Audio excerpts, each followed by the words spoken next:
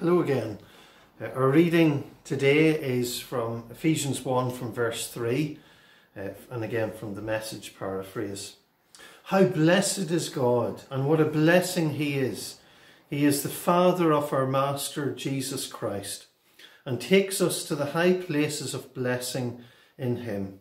Long before He laid earth's foundations down, He had us in mind, had settled us on us as the focus of his love, to be made whole and holy by his love. Long, long ago, he decided to adopt us into his family through Jesus Christ. What pleasure he took in planning this.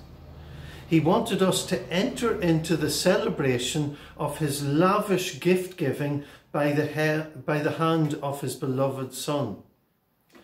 Because of the sacrifice of the Messiah, his blood poured out on the altar of the cross, we're a free people, free of penalties and punishments chalked up by our, all our misdeeds. And not just barely free uh, either, abundantly free. He thought of everything, provided for everything we could possibly need, letting us in on the plans he took such delight in making. He set it all out before us in Christ, a long range plan in which everything would be brought together and summed up in Him, everything in deepest heaven, everything on planet Earth. It's in Christ that we find out who we are and what we are living for.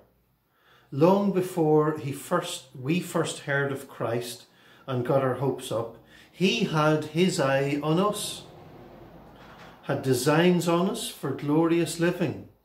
Part of the overall purpose he is working out in everything and everyone.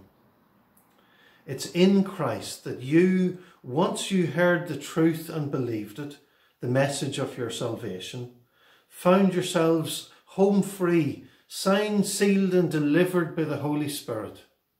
This signet from God is the first instalment of what's coming, a reminder that we'll get everything that God has planned for us, a praising and glorious life. Amen.